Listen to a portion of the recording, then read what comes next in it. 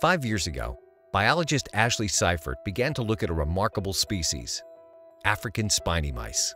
What's phenomenal is that they're able to regenerate complex tissue structures. So they can regenerate pieces of their skin, that includes hair follicles and sebaceous glands, which are associated with it, the underlying dermis, the structural component of the skin, which gives it strength. And then in the ears, amazingly, they can regenerate cartilage.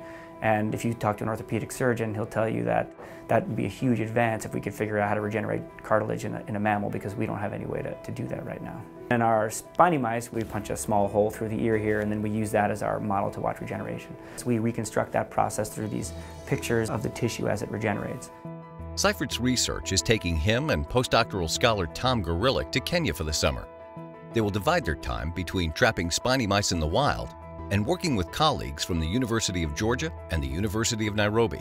I was funded by NSF and International Office of Science and Engineering to go back and explore this hypothesis that there's a bias in regenerators towards innate immunity and innate immune responses where animals that can't regenerate tend to have a bias towards adaptive immunity and pro-inflammatory molecules. What we're expecting is that because the spiny mouse can heal skin fully, is that they have a very robust innate immunity and because we know that at least in other mammals, uh, adaptive immunity, it inhibits healing and it causes more scar formation.